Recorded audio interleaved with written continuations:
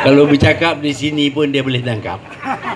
Tetapi yang teruk sekali ialah undang-undang ini berkata kalau yang ditangkap itu mati tidak ada pemeriksaan inquest.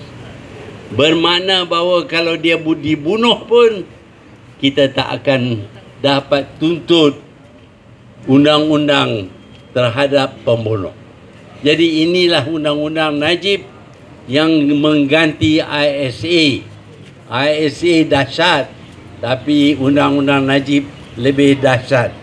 Kalau dia tangkap satu orang, orang itu mati, entah kerana apa, entah dibunuh, tetapi tidak ada inquest, tidak ada postmortem, tidak ada pemeriksaan magistrate akan sebab-sebabnya kematian.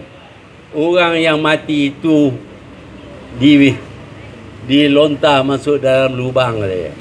Ah, inilah Datuk Seri Najib.